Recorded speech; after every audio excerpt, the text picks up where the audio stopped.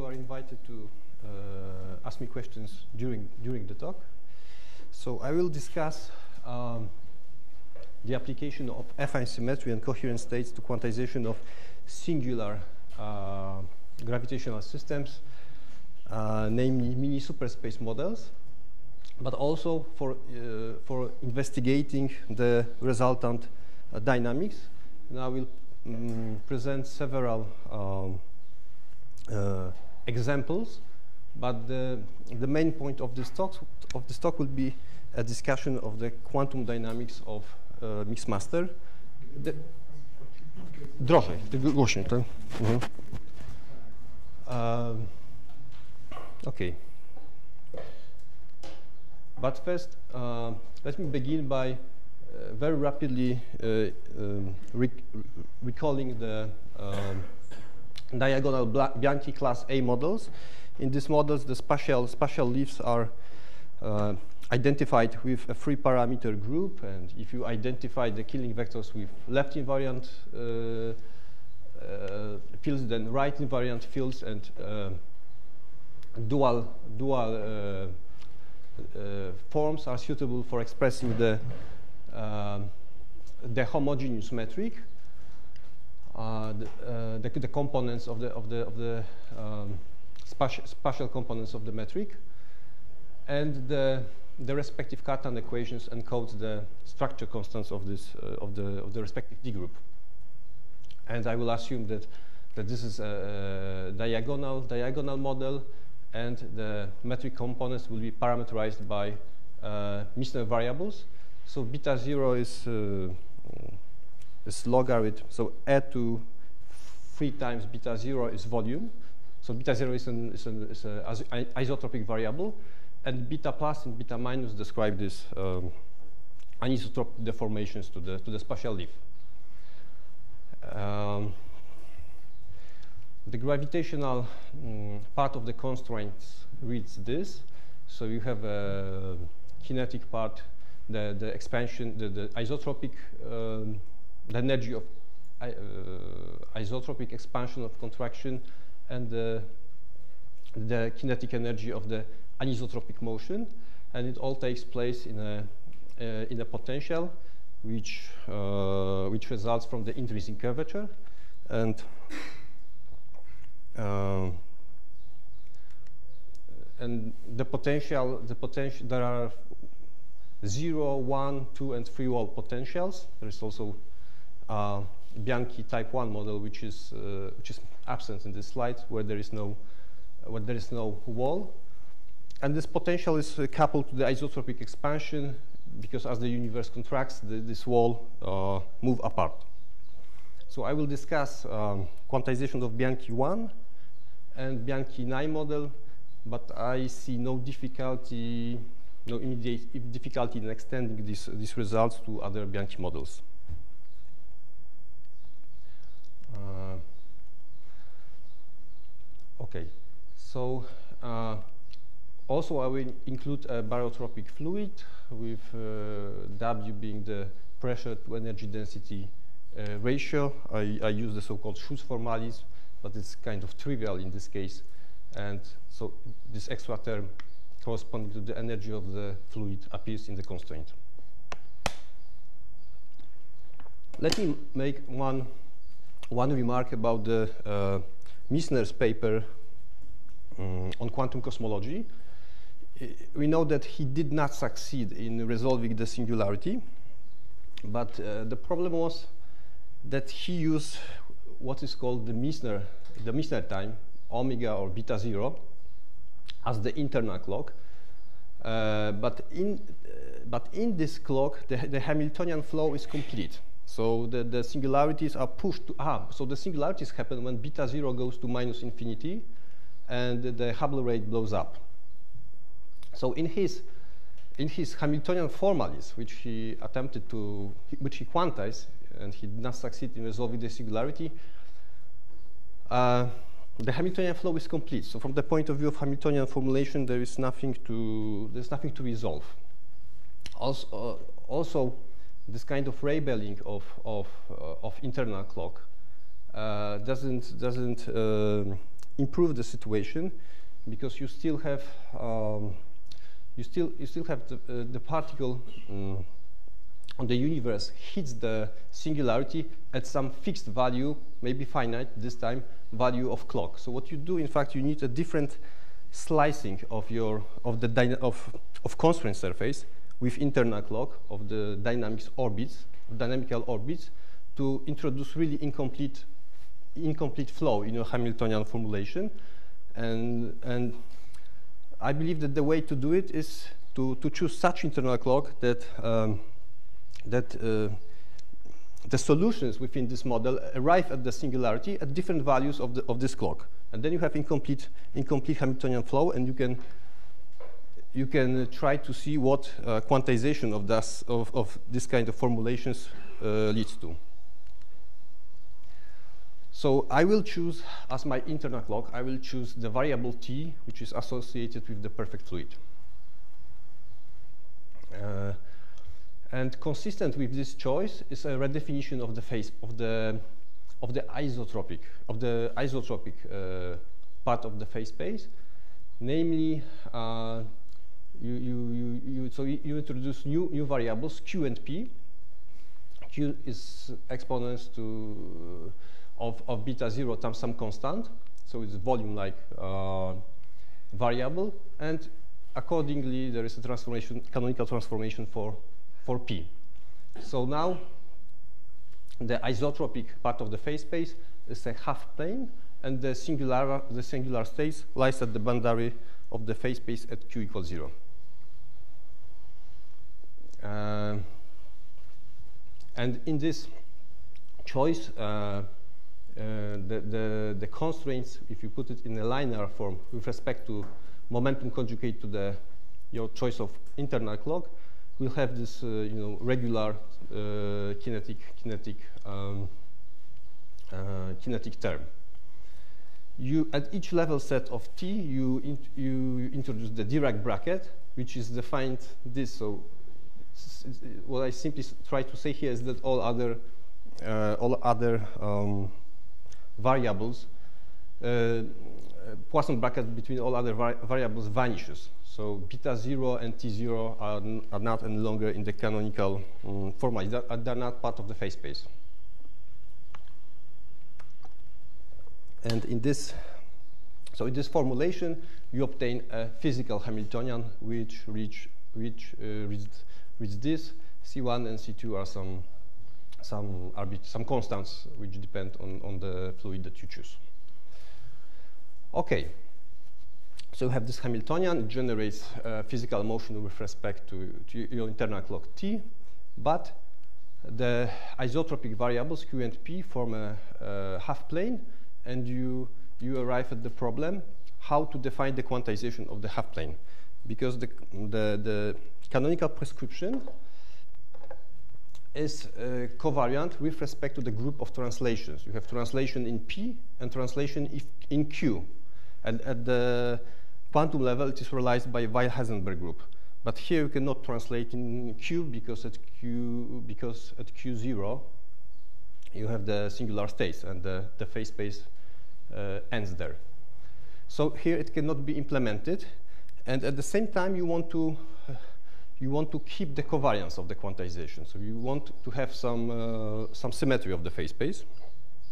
And a way, to, a way to do it is to use the affine symmetry, about which you heard already today, before, in the morning. So the affine group uh, can be identified with the half plane and it can be it can be seen as a minimal group of canonical transformations in this in this half plane. So it will uh, preserve the symplectic structure. The left action of this group uh, on itself is defined in this in this way. The the generators, the infinitesimal generators of this uh, of this action are defined here, and they are called dilation and translation, but this is translation in P, because translation in P you can keep. And they satisfy, you can compute that they satisfy the following, the Lie bracket uh, the, the canonical generators of this uh, of these vector fields are observables q, position, and d.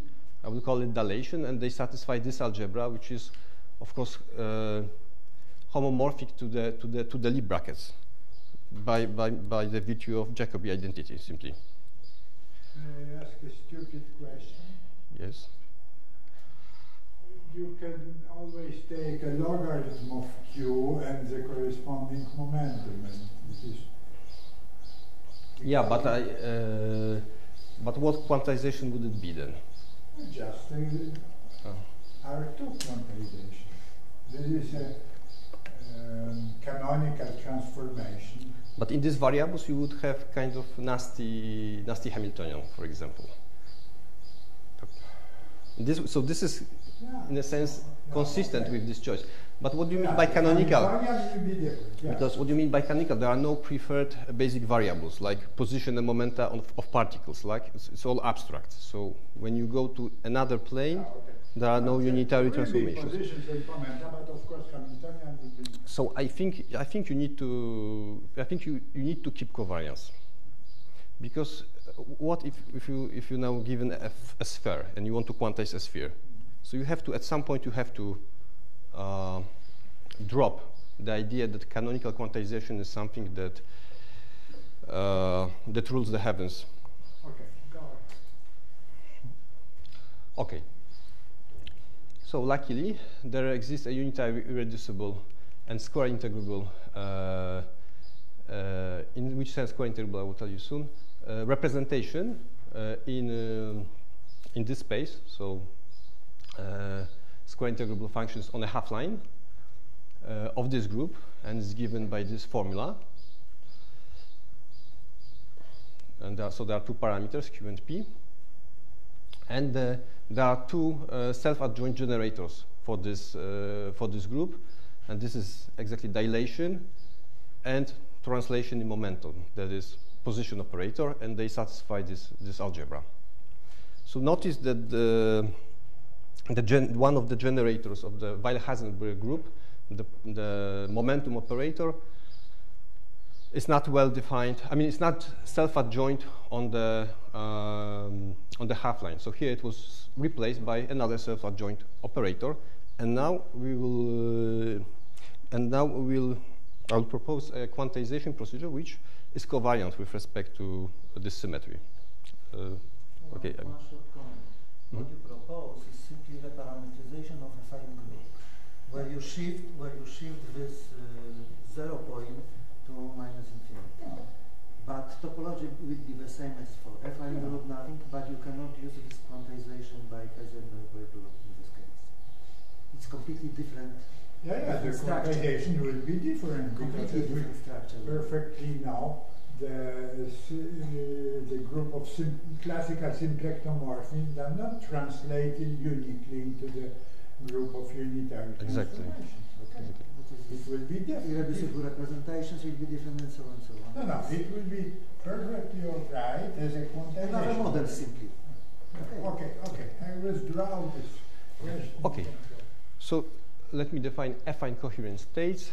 They were defined today already. So it's a map from a phase space to a, Hil- uh, to a Hilbert space uh, defined through elements of this um, unitary representation of the affine group acting on some fixed uh, vector, the fiducial vector, which is normalized and admissible vectors also have to satisfy this condition uh, in order to, for the group to be integrable. That is, uh, in order to have this um, this identity, this uh, this relation, that is that um, this uh, states resolve the identity. Because uh, this thing, this this constant has to be, of course, finite, and it happens to to to, to be equal to this um, this integral. So. Uh, so this is uh, these are they are called affine coherent states. And now we can uh, implement the affine coherent state in quantization, coherent state quantization. So it's defined. You have seen this map uh, already today. So to any observable of the phase space FQP, you assign an operator which is integral over the, uh, where you smear the, the observable with projectors, projector value measure uh, made of this uh, coherent states. This map is of course linear because it resolves the because the coherent states resolve the identity to um, to one you get the identity. Real functions are um, promoted to symmetric operators. And moreover, I think this is feature which is not even possessed, which is very interesting. It's not possessed by, uh, by canonical quantization, is that semi-bounded functions are uh, promoted to semi-bounded operators, which are self-adjoint. I mean, there are self-adjoint extensions, for example, the Friedrich extension. And this map is covariant with respect to the affine symmetry. That is that if you take an oper operator corresponding to observable f, and you transform it by a unitary uh, transformation, uh, by an element of the, of the group, of the representation of the affine group, it would be equal to the operator corresponding to uh, the same observable, but let's say transported with, uh, with the affine group acting on the phase space. So this is the key property which we managed to keep. Um, okay, so let's see how, how it works in practice. If you take uh, posi uh, position, it's mapped to a position uh, operator, the, the, the, usual one, uh, with some coefficients, which depend on the choice of family of the coherent states, on the choice of the fiducial vector. And um, momentum is mapped to a momentum, the usual momentum operator. Uh, if you if you insist, you can you can define c0 equal to c1. That that, that is equal that that you you will get canonical commutation rule if you insist, because this quantization gives you a lot of freedom. Uh, the other property is that if you quantize the kinetic term, you will obtain momentum operator uh, momentum operator square plus some potential. This k is always positive so it's a repulsive po potential, which you can see it will uh, it will um, let's say shield the singular states at q equals zero. So it will have a very important dynamical role in the in the in the singular models. But at the same time, it is very interesting because if this k is larger, and it usually it usually is larger than three fourth or equal to the three three, three fourth, this, uh, this operator is essentially self-adjoint, this unique uh, self-adjoint operator. That is, you don't have to impose any boundary conditions. Uh, if, if, if k is equal to 0, for example, then this deficiency indices are 1 and 1, so there is a u1 space of self-adjoint extensions, and you have to choose, for example, the, the shift of phase when the wave function reflects uh, against the boundary. Uh, if you quantize Hamiltonian of this type, so here you have some potential, Q to mu, you will, uh, so you will have this, uh, this part which we already discussed, and you will have uh, Q operator, the power of mu, times some dressing constant. So in this quantization, you will have uh, dressing constants, but again, they are usually very close to 1, but by the choice of fiducial vector, you can you can you can uh, make them equal one so so so this quantization is nice because it's it gives you a freedom uh, to to adjust the quantum theory to your I don't know physical intuitions or ideally to some observational constraint you you you can ad adjust the quantization procedure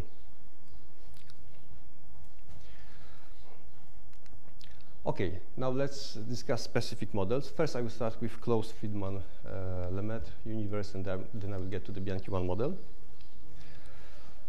Uh, so classical uh, Hamiltonians of this form. So you have isotropic, isotropic expansion. You have the isotropic uh, part of the curvature, intrinsic curvature. So the Hamiltonians of the form of harmonic oscillator with an equilibrium point at the, mm, at the singularity. The affine quantization will lead to this uh, quantum Hamiltonian, so we'll have this repulsive potential and possibly some dressing constant. I use here parameter nu, with which... what is nu? It's a parameter with which you parameterize your quantization, because you can parameterize your fiducial vector by any number of parameters you want, right? So at the end, your quantum theory will uh, depend on these parameters.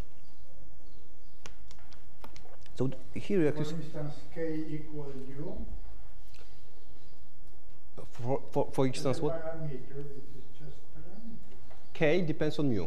K is a constant which appears in your model. Yeah, and A mu? is constant.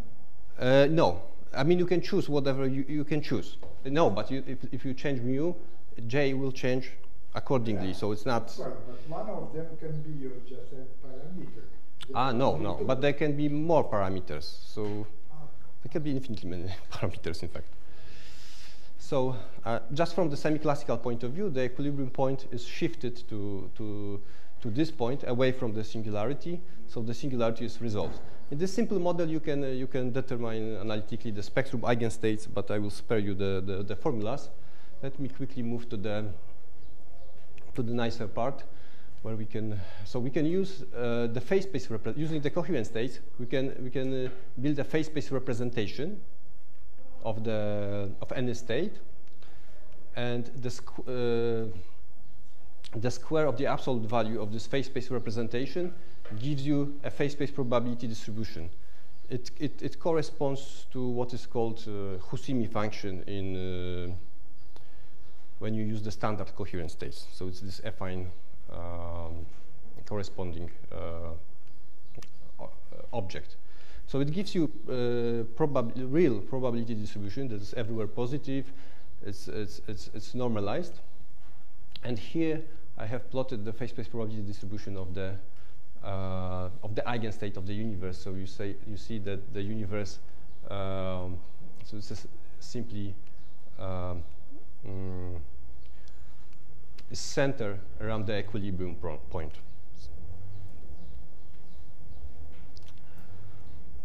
Mm.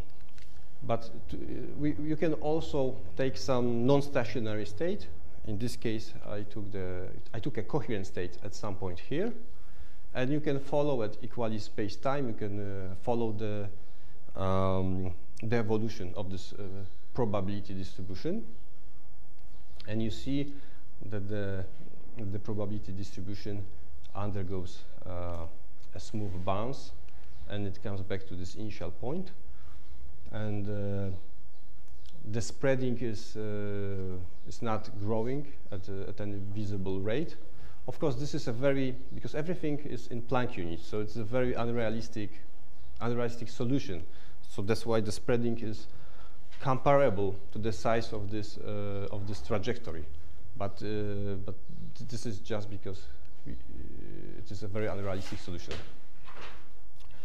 So the um, of course, the maximum of this uh, of this uh, probability distribution draws a trajectory in the phase space, which which gives you some understanding of the quantum dynamics in terms of classical uh, variables, yes, Q and P. And I like to develop this kind of understanding. So it's called semi-classical portrait. And in the next talk, uh, Artur will, um, I will give you just a basic uh, basic tool, but Artur will sh show you how you can develop this, uh, this method. So the exact quantum motion is, what, it, what is it? It's, it's, it's, a curve in a Hilbert space which minimizes the following quantum, um, quantum action. Now, we embed the classical observables in the Hilbert space. Th these are the coherent states. And you, uh, and you um, confine, restrict this quantum action to the space of this coherent state. So you pull back this, let's say, this quantum action to the to the phase space, and then you minimize it uh, by by independent variation of Q and P, and you find that you obtain a semi-classical solution, which is given in terms of this classical, these Hamilton equations of motion, when uh, H semi-classical is just the expectation value of the Hamiltonian in the um, in the coherent states.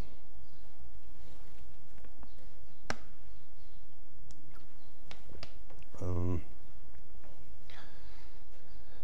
of course, at the same time, so it's a semi-classical motion which takes place in the phase space, but at the same time you have some approximate uh, quantum motion in the Hilbert space defined by this map, where this is the coherent state.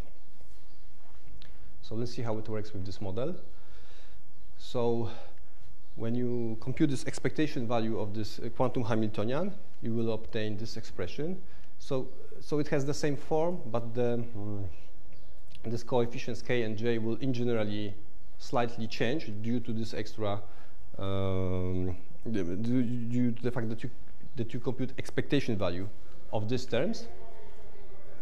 And you find that the, that the classical trajectories generated by the classical Hamiltonian uh, are replaced by semi-classical trajectories which uh, undergo this bounce. And the, um, the regime, the quantum regime, the regime where the quantum correction uh, become important is defined by this relation, where Q times Q is of the order of, of K or smaller.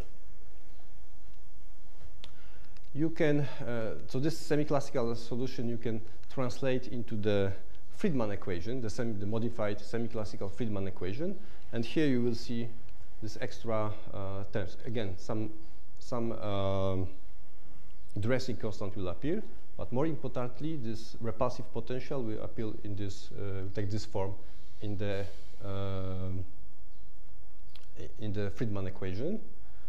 Uh, w, remember, is, from, is the pressure to, uh, to energy density ratio. So it's let's say weakly dependent in interesting equation, weakly dependent on W. Uh, and you have the constant uh, K. So the singularity is resolved because for any, any type of matter for W smaller than 1, this repulsive potential will grow faster as you go to the singularity, towards the singularity. And you can compute again that the, this, uh, this, this uh, this repulsion, repulsive uh, potential will start to play uh, important role in the dynamics where volume times h bar will be smaller or equal to, to Planck scale times square root, square root of this of this constant k and you know you can it is definitely some kind of a toy model but you can you can um, but you can use observation uh, to uh, to put bounds on this on this uh, on this scale. And for example, in this paper, you can find some bounds from cosmography, from primordial nucleosynthesis, or just from the fact that you require that, that the um, quantum corrections do not um, play an important role in the dynamics before the energy density is at the Planck scale. So you have you have this upper bounds for k. So the correction cannot be too large. But at the same time, you can find that the correction cannot be uh, too small, because if the correction is too small, the universe collapses to a very small volumes before it bounces. So the bounce is very sudden, very abrupt, and this kind of um, this kind of uh, behavior of, uh, of the of the isotropic background can lead to a production of gravitational waves uh, with very large uh, amplitudes, and actually we computed this. So if you, if you assume that k is uh, uh, smaller than this bound, the amplitude of the gravitational waves produced at the, at the bounds would be too high and would, uh, would definitely uh, violate the, the observational constraints known today. Okay, uh, very briefly about the affine quantization of Bianchi type 1 model. In Bianchi type 1 model, you have uh, isotropic expansion and you have uh, and you have also anisotropic mm, expansion. You have shear, which which uh, features here with a minus sign. And remember, uh, we used this is equal to the energy density of, of the fluid times the scale factor to, to a respective power. So this thing has to be positive, and this is this is uh, and and it's not always positive. So this is difference with Friedmann models, but uh, again, let me briefly say about this k. So k square is just p plus square plus p minus square, but this is um, this is constant of motion. So we replace it just with k, and canonically conjugate variable. I will call it pk, and it describes. Uh, I call it shape function because it's the only dynamical variable which, which uh, tells you how the shape of the space uh, evolves as the universe approaches the singularity. So here you have the extra constraint, and uh, positivity constraint, and with affine quantization, just an integral quantization, you can very simply implement this constraint. So there is some part of this uh, of this classical phase space which is not uh, which is not uh, uh, allowed from the point of classical physics, the, which, which doesn't include classical uh, states. And this is, and this is not uh, a reason of a particular parameterization that you use, it's just a topological feature of a constraint, of, a constraint of this particular model. So independently of your parameterization, you will always have to deal with this kind of um, extra constraint, I say. So uh, quantization, I just I just show you the formula because you can expand it, but it will be very very difficult to handle. But we can use again the semi-classical portraits to take some insight into the dynamics of this model. And when you do this, you obtain the semi-classical Hamiltonian, which generates the semi-classical motion, is given by this um, uh, by this formula. So here you have again this um, this repulsive uh, potential. Here is the shear, because the shear can be very large, so this in fact can be can be negative. So this term comes uh, comes to help in preserving the positivity of the of the total expression, which we imposed by this uh, quantization. But again, the singularity q equals 0 is shielded by an infinite potential, as you will see in the next slide. So here you have a classical dynamics of the Bianchi 1 model. So q goes to 0, uh, p, uh, p blows up. This is a contracting branch, this is expanding branch, and there is a there is a phase space in between which is not uh, which is not allowed uh, classically here is the behavior of this shape function. So it describes the, the, the, ratios between different scale factors. So in this case, you have, you have two types of singularities. You have uh, cigar-like singularity, that is one scale factor uh, blows up and two of them vanish, or barrel-type singularity, that is uh, one scale factor is finite and two of them vanish. And all of them lead to this singular behavior of this shape function pk. But uh, the, the semi-classical Hamiltonian generates uh, different dynamics. First of all, you ha have this transition from contraction to expansion across this region, which is classically forbidden. So you have a nice smooth bounce, and at the same time, the behavior in this shape uh, shape function is also uh, smooth and doesn't blow up. So the singularity is resolved.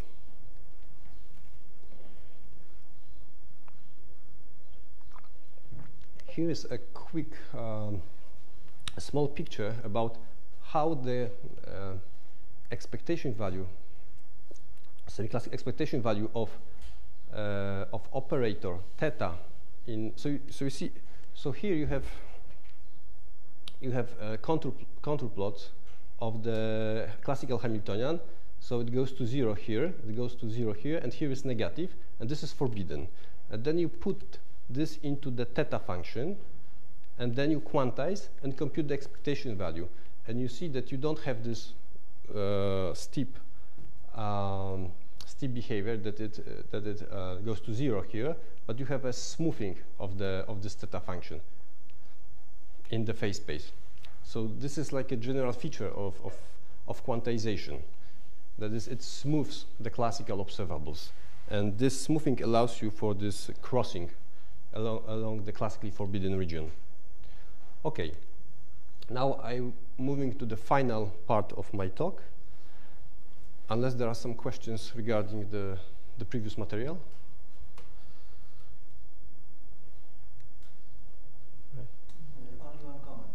Yes. If you are using this uh, coherent state interpretation and this so-called big or small small uh, quantity, this, this product q pi and phi, and you interpret it as a, Mhm. a wave function in these variables, one needs to be careful because q pi are not orthogonal as in normal Yeah, it means a phase-space representation. yeah, face-to-face representation. But then probabilistic interpretation also cannot be so so straightforward. Yes, of course, of Yeah. course. One need to make. Yes, remember this is an overcomplete of uh, No, overcomplete uh, events are set of states. and there are Events which correspond that this q pi phi, Mhm. if you take, mhm. then this square, uh, Yeah. absolute value square, doesn't mean exactly that this phi is at the point q pi. yes, yes, but with some probability. No, this is this probability has to. Uh, Yes, I know because the Yes, states with al- also to- spread. It's- it's Ah, spread. Yeah, okay. it's not. A, it's not. Yeah. I, Okay, I propose to go Okay, so now coming to the main part of the talk and mainly quantum dynamics of mixmaster universe. This is the most interesting one because first of all it is a most generic one in the sense that all structure constants of the of the of the Lie group uh, don't vanish and because it's, it, it, it seems to play an important role in our understanding of the generic singularities. So let me start. So uh, it is. It has this this metric, a diagonal metric again. This is the Cartan equation. So you have one. All the constants, all the structure constants are equal to one. And this is the classical constraint. So the classical constraint can be divided into two parts. You have a part, uh, isotropic part. So you have kinetic uh, part of the ex expansion or contraction uh, and uh, intrinsic isotropic intrinsic curvature. And then you have anisotropic part, which is this, uh, we describe this anisotropic motion, energy of the anisotropic motion in this, pot in this uh, complicated um, free wall uh, potential. So the dynamics is uh, such that this, so it's a, uh, so um, the spatial leaf is diffeomorphic to, to a free, free sphere. So, so this free sphere contracts, and uh, at the same time there are these anisotropic deformations which oscillate as the as the, and deform the sphere as the universe contracts.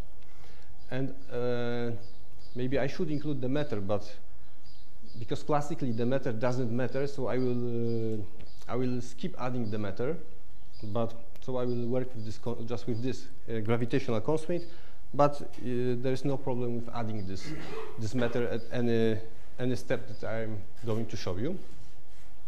Again, the isotropic the isotropic uh, variables are the half plane, and the anisotropic ones are two planes, the usual Misner variables. And then you apply the quantiz affine quantization to isotropic uh, variables. So you get this, uh, this uh, Hamiltonian constraint, so repulsive potential, possibly some dressing factor, and at the same time you apply canonical quantization to these variables because this is the because it will be covariant with respect to these translations of the of the of the full plane. So here you can possibly have this dressing um, constant due to this affine quantization and just a regular canonical quantization of potential. Mhm. Okay.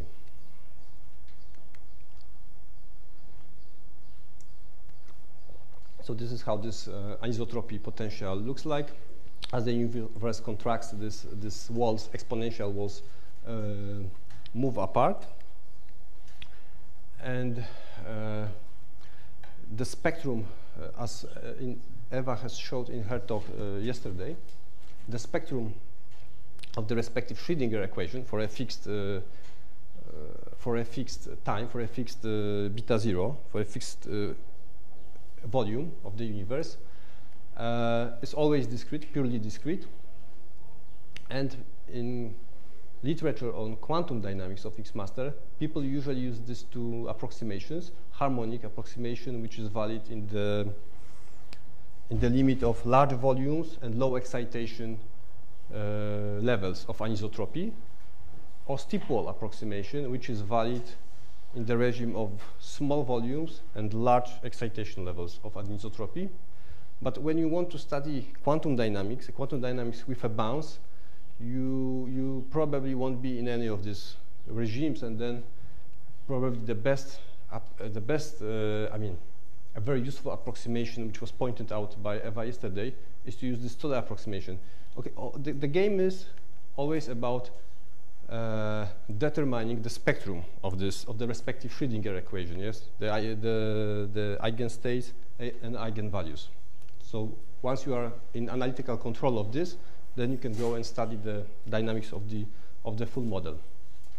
Here for this presentation, I'll use this simplest harmonic approximation, but uh, you can you can simply replace all the formulas with other if you know the, the spectra and eigenstate, eigenstates. Okay.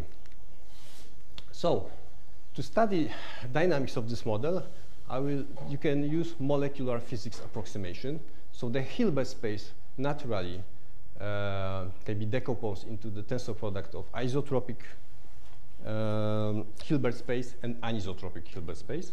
And the isotropic Hilbert space, as I showed you already, can be approximated by these coherent states. So now the constraint is of the following form. You have, you have uh, isotropic uh, expansion. Here is the isotropic um, intrinsic curvature and this repulsive term. And here is the anisotropic uh, part of the Hamiltonian. And it can be it, it can be expressed if you know eigenstates of this of this Hamiltonian can express it in this way, yes, as projection of eigenstates um, with respective eigenvalues, and of course, as, uh, because the, the, the potential is coupled to the isotropic expansion, so the eigenstates and the eigenvalues will depend on Q, on size of the universe. So now the simplest approximation is the Born-Oppenheimer approximation, in which you assume that uh, the anisotropy is in a fixed eigenstate. And the isotropy geometric, the isotropy um, motion is approximated by coherent states. And when you use this approximation, you will arrive at this semi-classical constraint with which uh, you can produce uh, semi-classical equations of motion. And look what you get. We will we'll do it in a moment.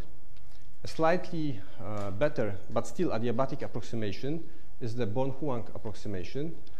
In this case, you include you know, some minimal coupling between the fact that, because here you assume that mm, as the universe contracts, the eigenstates of the anisotropy instantaneously uh, adapt to a new to a new size of the universe. But in fact, this is not the case. So, so this is what Born-Huang approximation uh, takes into account. It takes into account that will, there will be some um, coupling between the rate of change of this eigenstate of the anisotropy uh, and the rate with which the universe contracts. This uh, can be done formally um, with the use of some Q-dependent, volume-dependent unitary operator, which maps your anisotropy eigenstates, which depend on Q, on some fixed Q-independent uh, eigenstates. And then if you transform this operator, this uh, Hamiltonian constraint operator, you will see that there will be some uh, uh, extra term due exactly due to the fact that these eigenstates uh, depend on Q. and this will produce, in fact, it will produce, uh, if you compare it to Born-Huang, Born-Oppenheimer approximation, it will produce this kind of term, which is again uh, repulsive, uh, repulsive um, potential, have the same the same form.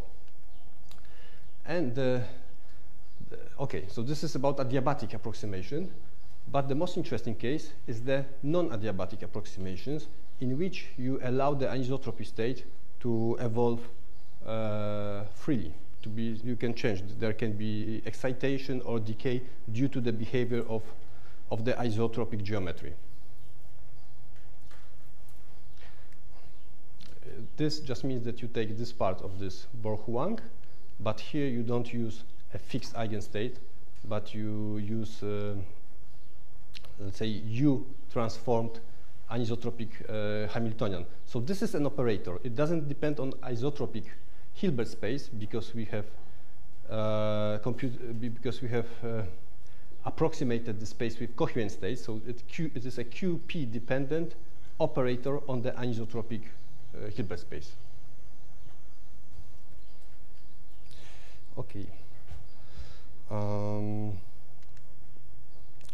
so in case of the uh, Friedmann, uh, in case of the adiabatic approximation, uh, you will get Friedmann-like evolution. That is this uh, anisotropy eigenstate well, uh, will act as a barotropic fluid, uh, producing, fueling the contraction of the universe. And the universe will, will bounce as, as I showed you previously, it is slightly squeezed in, in, uh, in comparison to, to, to, the figures that I showed you before because I use a slightly different definition of Q and P because there is no fluid. And there, the existence of fluid um, lead to a more convenient choice of Q and P, which was slightly different.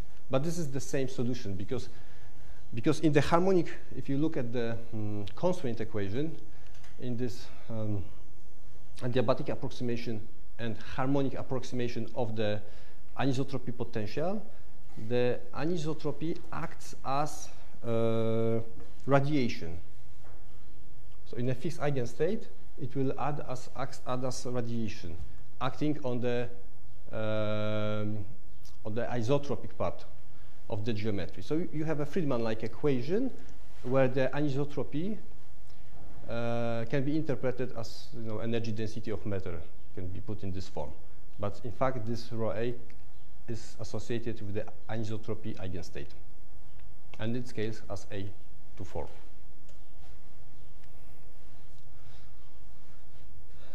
Mm, okay. Now about the vibronic approximation, the non-adiabatic approximation. So this is our constraint operator which acts on anisotropic uh, part. So how to, how to derive the equations?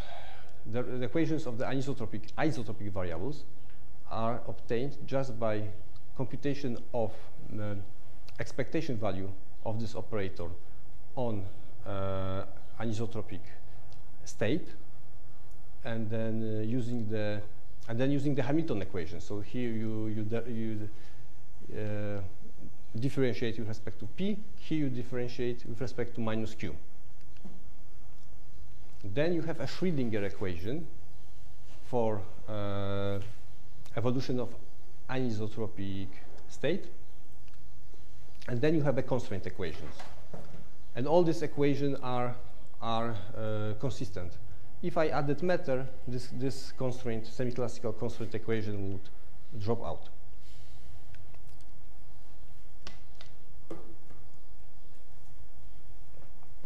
And this, uh, these equations are time reparameterization invariants, invariant, by the way, it, because we don't, because I didn't include the fluid. So, uh, so within the harmonic approximation, you can, you can uh, run some numerical simulation and see what it leads to. So here you have um, the isotropic, the, the scale factor, the bounce of the scale factor. Here is the behavior of the Hubble rate. What, what I do, I start with, uh, with uh, anisotropy with a second excited eigenstate, and then see what happens. And you see already here that the bounce is slightly, slightly asymmetric. So there's a faster expansion here than contraction here. There's a slight uh, as asymmetry, and let's see why. So I started with second um, excited eigenstates. So the population of this eigenstate was, uh, was 1, and at the bounce it dropped. to some smaller value. But at the same time, population of other eigenstates uh, increased. For example, the eighth, if I, if I can see uh, it right, the, the, the, the, population of the eighth eigenstate increased slightly. And here you have a, a plot of uh, populations of a few eigenstates. So you see the initial eigenstate drops, but other are uh, excited. And uh, the mean excitation slightly uh, increases during the bounce. Uh, so, so, it's very easy to understand why there must be a slight. So this is a very slightly, I would say, slightly non-adiabatic behavior. Uh, so we can understand why there is this asymmetric bounce, because when you have excitation of anisotropy, after the bounce, it must be this energy of anisotropic expansion has to be balanced by isotropic expansion, by the virtue of Einstein equations, yes, the constraint equation. So when you produce, produce uh, anisotropy, you at the same time increase, increase the, um, the speed of, of, uh, of expansion. Here you see the uh, how spreading is. Uh, so initially there was no spreading because it was fixed eigenstate, then the spreading grows. And okay, so, so you see, so the uh, Friedmann, the quantum Friedmann models can be seen as very particular, namely adiabatic solutions to the Bianchi type 9 uh, model. But, ge but gen general solution will be non-adiabatic, and there will be some excitation of anisotropy at the bounce, and the excitation will lead to an expansion after the bounce, let's say uh, extended, uh, period of extended expansion just by the virtue of the constraint equation.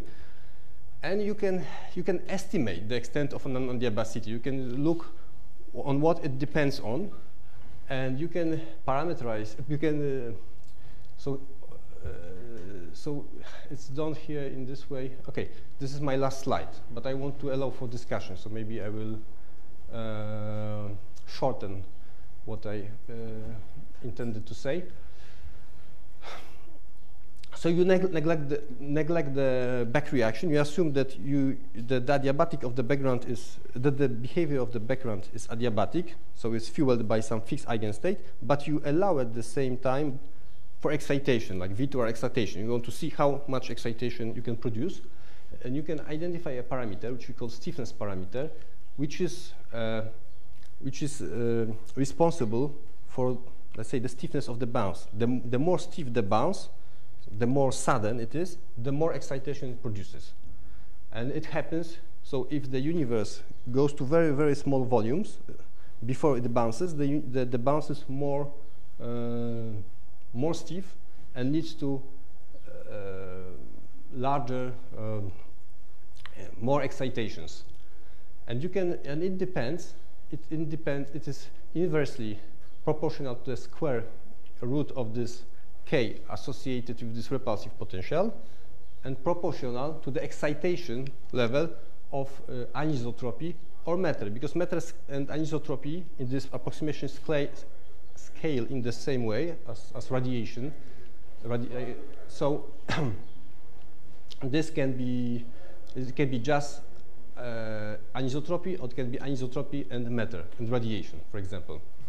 And then you can compute how much uh, you can produce aniso of anisotropy in the bounce, and you will find that the excitation number, the final uh, excitation level of the anisotropy is proportional to the k square times initial excitation number, but k square, but k depends on the excitation number.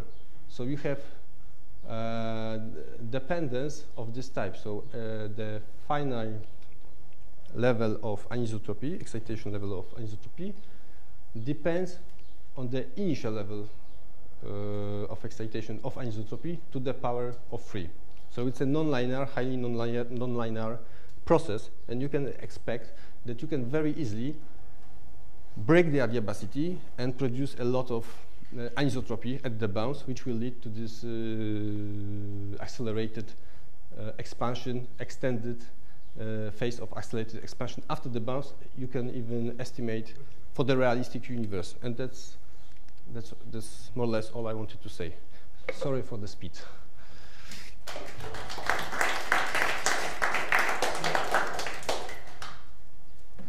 Questions? A question about uh, anisotropes. The first time you introduced anisotropes, you started with the Hamiltonian, which was not positive classical. It was p squared minus the anisotropy shear term. You mean type 1 model? I think so. Let me go there. Uh, yes, this one. So Or- classically, the Hamiltonian is not positive. But then you introduce a positivity condition and you quantize it. yes. And it's no surprise that you get the repulsive potential because it's your positivity condition that you Well- put in by hand. Well, I could use this Hamiltonian. I could use this Hamiltonian as my classical Hamiltonian. Why not? Because the physical, uh, the classical physical motion takes place only in this region when this is one. So it's like multiplying by one. I am free to modify my classical uh, no, expression for the Hamiltonian without changing the dynamics. and the classical Hamiltonian up there? Here, Why do you impose the constraint h greater than zero? Uh, it's, it's because of the construction, because I started, I included the fluid, uh, that is, uh, here you see, this is my semi, this is my classical physical Hamiltonian, and it comes from this constraint when, when, I, when I brought it to a linear form with respect to PT, and PT is positive, it's positive, because it's the energy of the fluid. So, so does that? So that implies, for some reason, that your anisotropy shear is now, bound, now bounded, which, which is independent of the singularity. So you're Which- limiting is by this condition, and I don't see where that should be physically why that should be implied by. I'm sorry, I, I, can you repeat? I assume that what is not bounded, that the shear is not bounded. Right. You, you assume that it is bounded. If h is positive, the shear term is bounded from the. No, um, no, but you know the dynamics can happen. mm again, it's not bounded in this region. You, if you follow this classical trajectory, the shear will become unbounded. It grows unboundedly. Yeah, but what I'm saying is, as you impose that this term, this Hamiltonian is bigger than zero, uh, then you're imposing this, you don't compute this there, but maybe there it disappears by hand. That's what I'm saying, Right? So I don't. So the thing is, I could what I could do. I could solve the constraint completely classical level, and get rid of this, of this part. But it's there. But if I get rid of it, I have a contracting branch, an expanding branch. Branch. So I will don't. I won't get a bounce. And of course, getting a bounce is an art. Yes, it's nothing that you must get. So you have to somehow play a game with this. Uh, of this Hamiltonian formalism, I would say. It's nothing surprising to me. That's- Because we're proving that the linear momentum is positive, so it implies that the other parts are. Are positive, yes. So, but you are imposing that. So this comes from this position. I know well, linear be- momentum is, is that the energy density of matter is positive. This is my model. So you want to allow it to be negative? So Okay, again, I so- propose to shift the, the discussion to the break because we must have some break. At least five minutes, okay? Then